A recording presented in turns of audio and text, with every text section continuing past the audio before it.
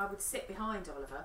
Um, I had a high stool. We always had high stools, didn't Oh we? yes, that's right. And so I'd sit behind him on a high stool, Yeah. and Oliver would be cutting away, and he'd hold out a trim like that. And, and as, as an assistant, you had exactly 10 seconds to take that trim. Ten seconds. If you didn't take that trim in 10 seconds, Preferably on the seven floor. seconds. Which, if you were working on Oh, never. I you did, never you used to drop it. Yes, you No, did. Did. You did, Oliver. So if you dropped it on the floor, if it was Ektachrome, um, that was it. That was it. You could never use it again because that was actual film that was going to be transmitted. So you always used to have to keep one eye on Oliver whilst trying to do the other jobs as well. Take them She off. Come on, exaggerates I do not, Oliver.